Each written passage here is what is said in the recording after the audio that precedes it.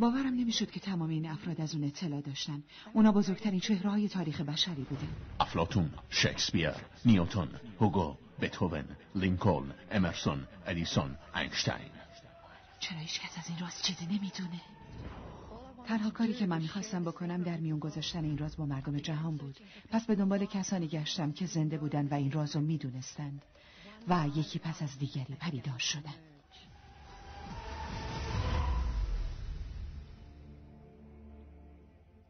در واقع این راز هر چیزی رو که آرزو دارید بهتون میده. شادی، سلامت و ثروت. شما می‌تونید هر چی که می‌خواین باشین یا انجام بدین یا داشته باشین. می‌تونیم هر چیزی رو که انتخاب می‌کنیم داشته باشیم مهم نیست که اون چقدر بزرگ باشه. تو چه جور خونه ای دوست دارید زندگی دوست دارید میلیونر باشید چه شغلی دوست دارید داشته باشید به دنبال موفقیت بیشتری. چه چیزی رو واقعا می‌خواهید؟ من شاهد رخ دادن معجزات زیادی در زندگی مردم بودم. معجزات اقتصادی معجزات درمان جسمانی بهبود روانی و بهبود روابط اجتماعی. دلیل رخ دادن تمام اینها دانستن روش بکارگیری این رازه این راز بزرگ زندگی است. این راز جواب تمام چیزهایی است که تاکنون بوده. تمام چیزهایی که هست. و تمام آن چیزی که روزی خواهد بود. رالف والدو امرسون شاعر آمریکایی 1803 1882 احتمالا توی این مدت از خودتون پرسیدید که این راز چیه؟ من بهتون خواهم گفت که چگونه خودم این موضوع را درک کردم. ما همه با یک نیروی بیپایان کار می‌کنیم. همه ما با قوانین کاملا یکسانی زندگی خود را رهبری می‌کنیم. قوانین طبیعی کائنات به اندازه دقیق هستند که ما حتی کوچکترین مشکلی در ساخت سفینه های فضایی نداریم.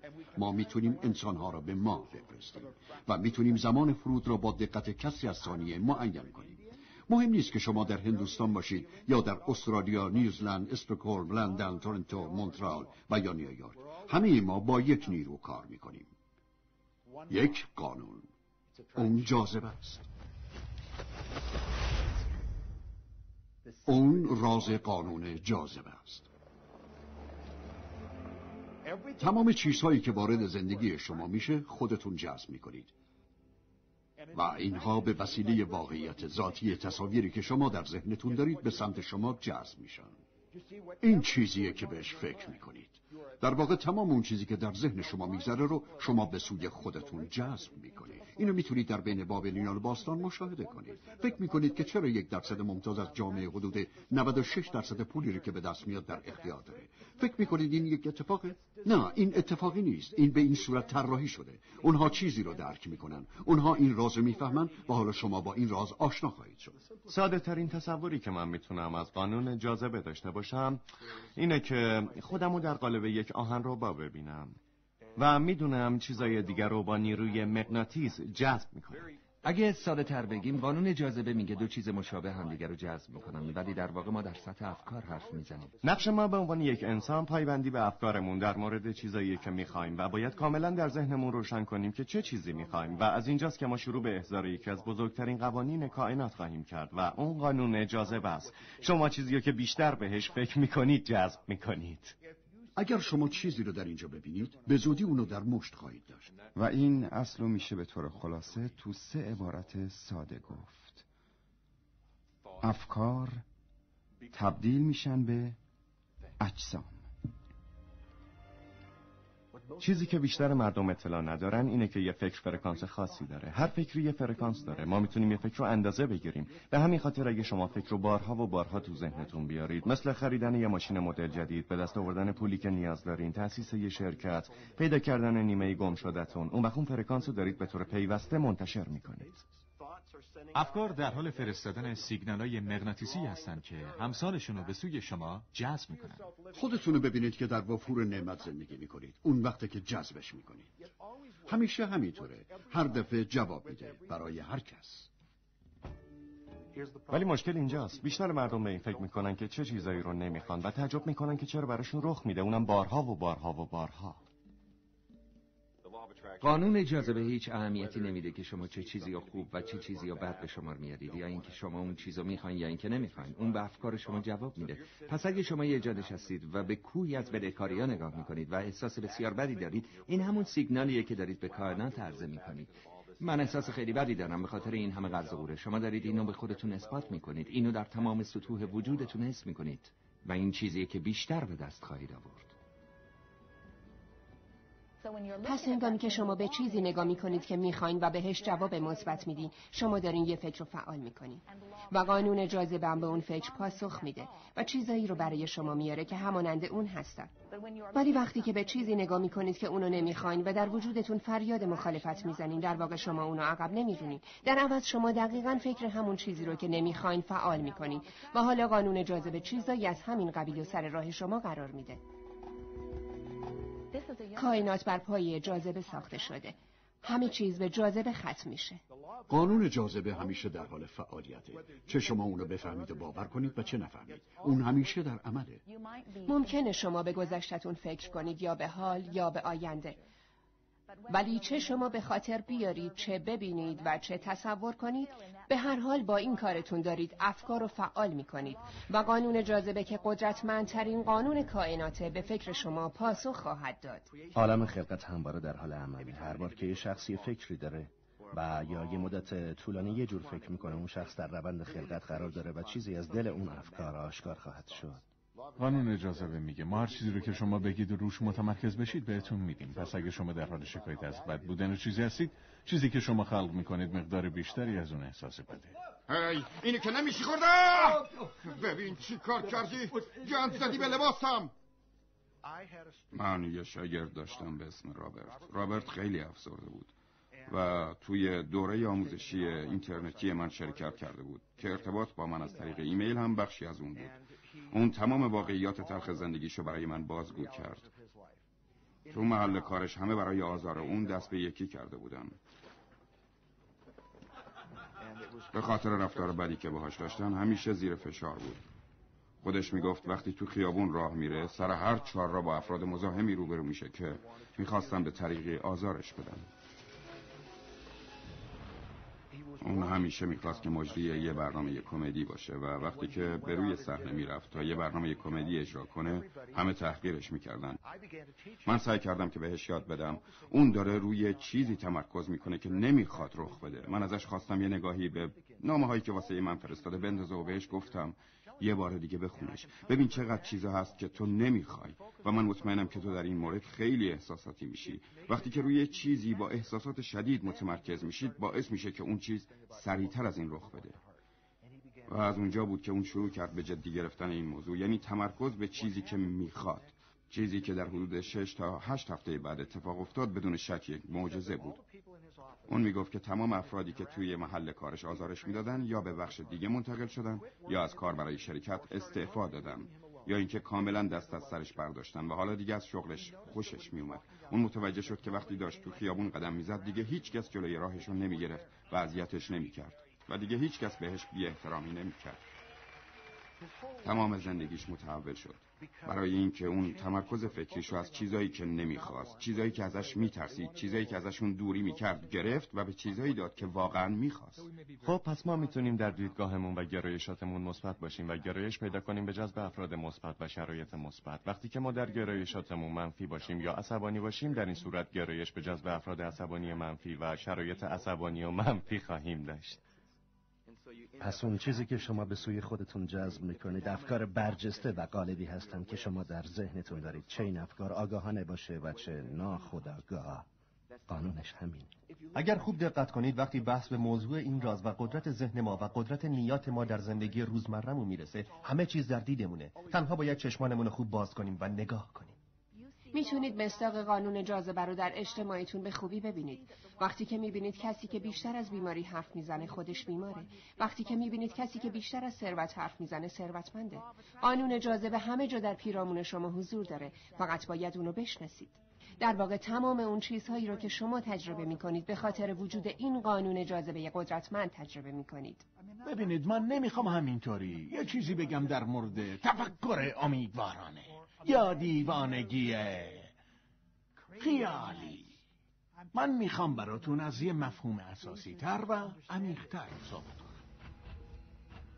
فیزیک کوانتوم واقعا داره کم کم به این یافته می‌رسه که میگه شما نمی‌تونید جهانی رو داشته باشید بدون اینکه ذهن رو با اون تلفیق کنید و اینکه در واقع این ذهنه که داره هر چیزی رو ما می‌بینیم به شکل میده. حالا اگر شما اینو درک نمی کنید به این معنی نیست که حتما باید ردش کنید. بعضی ها الکتریسیته رو هم کاملا درک نمی کنن یا اینکه اصلا نمی‌دونن الکتریسیته چی هست. ولی با این حال از دستاورداش استفاده می‌کنن. آیا شما می‌دونید طرز کارش چطوره؟ من که نمی‌دونم. ولی اینو می‌دونم که شما می‌تونید غذای یه نفر رو با الکتریسیته بپزید و می‌تونید خود فردم بپزید.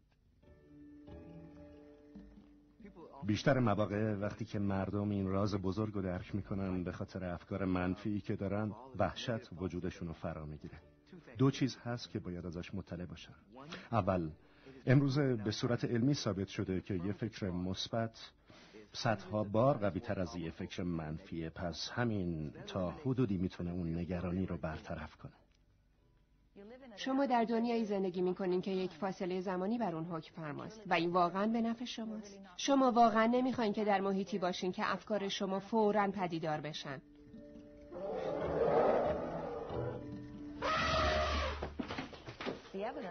رخدادها به زمان نیاز دارن و این واقعا چیز خوبیه.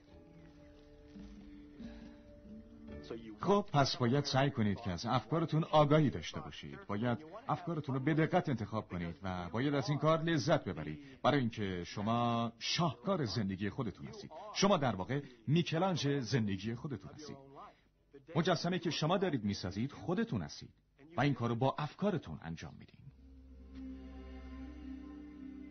رهبران و رؤسایی که در گذشته این راز رو می‌دونستن می‌خواستن که قدرت رو حفظ کنن و اونو تقسیم نکنن.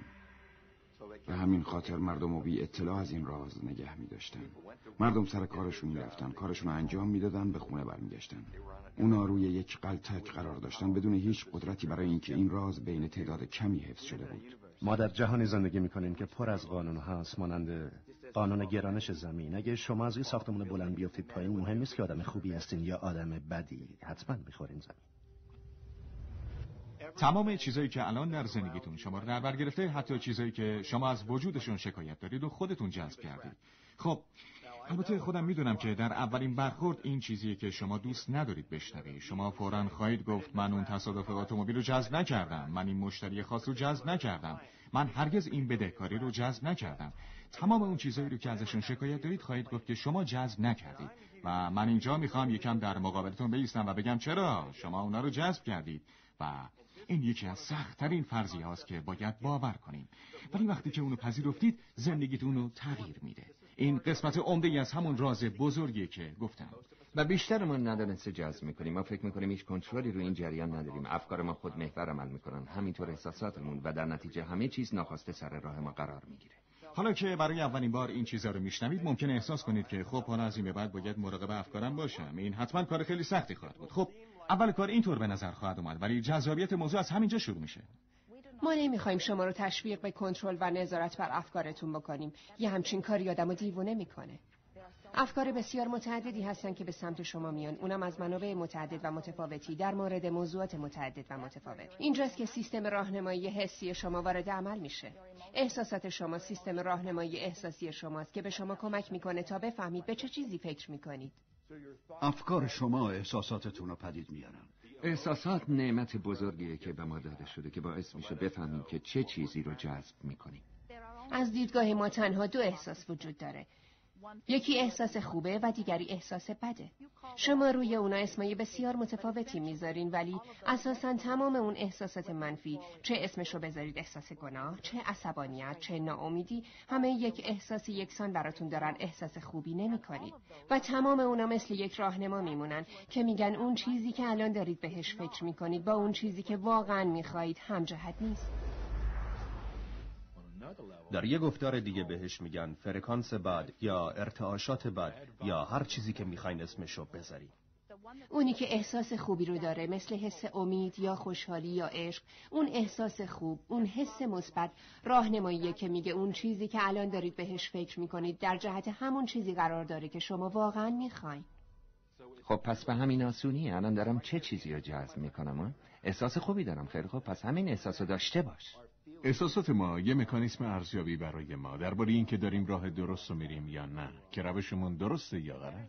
هرچه احساس بهتری داشته باشید جهتگیریتون بهتره. هرچه احساس بدتری داشته باشید جهتتون اشتباه تره وقتی که دارید در بین تجربیات متفاوت روزانتون حرکت می‌کنید کاری که شما انجام می‌دید اینه که افکاری رو پدید میارید که اونا در واقع تجربیات آیندهتون رو برنامه ریزی می‌کنن. و از روی احساسی که دارید می‌تونید بگید که آیا اون چیزایی که دارید به سمتشون حرکت می‌کنید وقتی به دستشون میارید خوشحالتون می‌کنه یا نه؟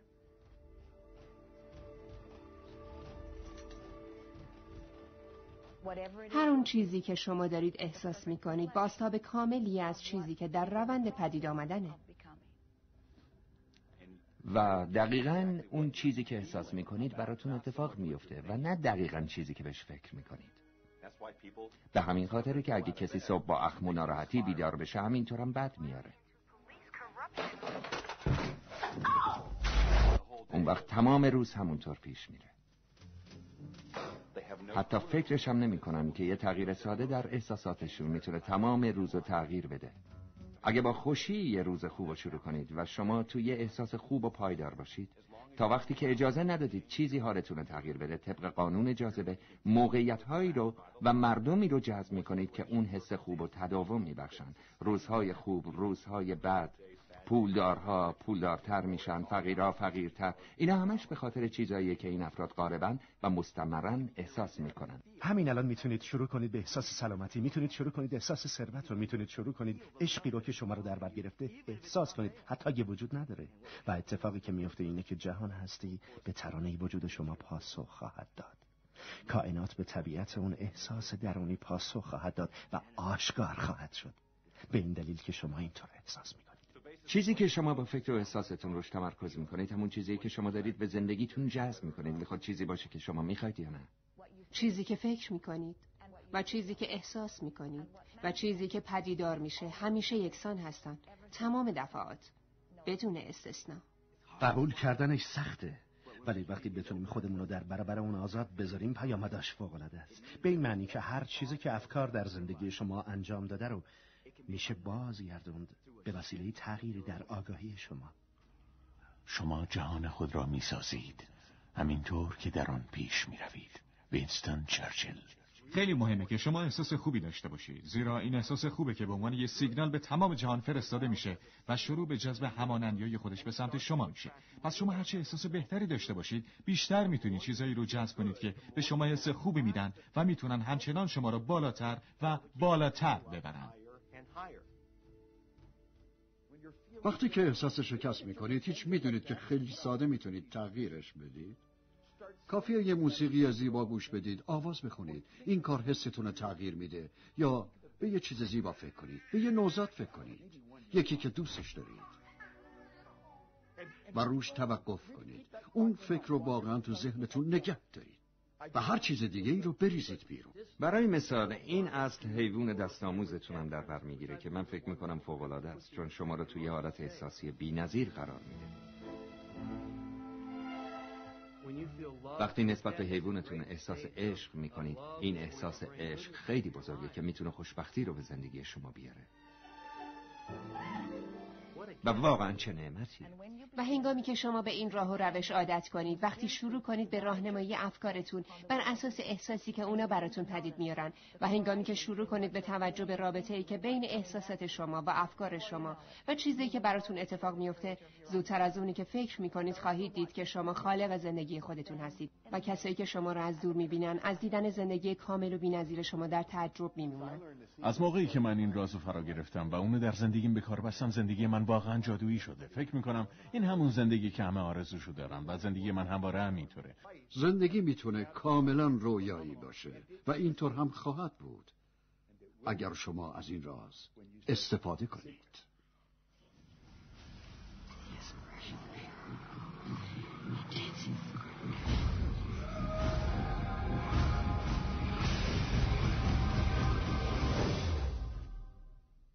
خیلی از مردم می‌پرسن که نقش اونا در این روند خلقت چیه و نقش جهان هستی در اون چیه؟ خب بیاین برای یه لحظه به این نگاه کنیم. بیایید از دستان علایالدین و چراغ جادو برای این کار استفاده کنیم. حتما شنیدید. می‌دونیم که علایالدین چراغ جادو رو پیدا می‌کنه و گرد و غبارش رو می‌گیره و ناگهان قول چراغ میاد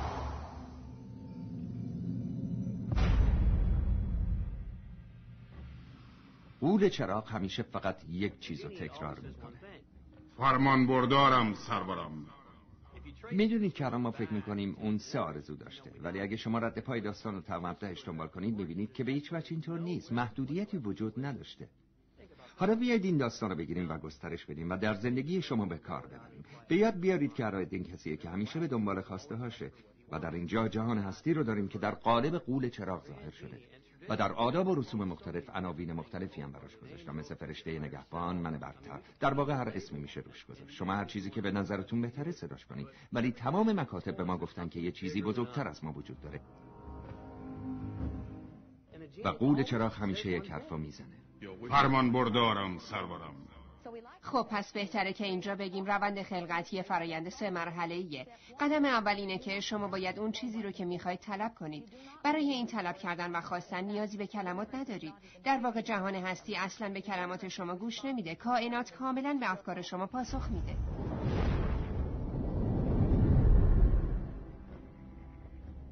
واقعا چه چیزی رو می‌خواید؟ بشینید و اونو روی یک ورق کاغذ بنویسید. اونو با یک جمله مزارع بنویسید. شاید بد نباشه اینطور شروع کنید. من خیلی خوشحالم و شکر گذارم حالا که و بعد توضیح بدید که دوست دارید زندگیتون چه شکلی باشه. و این خیلی هم جالبه. مثل این میمونه که دنیا یه کاتالوگ باشه در دست شما. و شما همینطور که اونو برق می‌زنید میگید خب من دوست دارم این تجربه رو داشته باشم و دوست دارم این محصول رو خریداری کنم و می‌خوام یه همچین فردی رو ملاقات کنم. و انگار که شما دارید به جهان سفارش می‌دید. واقعا به همین سادگیه.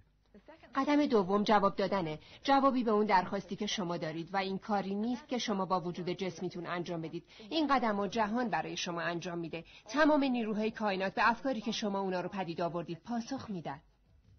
فرمان بردارم سرورم و جهان هستی شروع می‌کنه به گرفتن شکل جدیدی که بتونه آرزوی شما را برآورده کنه. اکثر ما هرگز به خودمون اجازه ندادیم که اون چیزی رو که واقعا دلمون می‌خواد طلب کنیم. چون نمی‌تونیم تشخیص بدیم این کار چطور می‌تونه انجام بشه. اگه یکم تحقیق کنید براتون اثبات خواهد شد که هر کسی که تاکنون تونسته موفق به کاری بشه هیچ نمی‌دونسته که چطور باید با اون کار روبرو بشه. فقط می‌دونسته که اون کار باید انجام بده.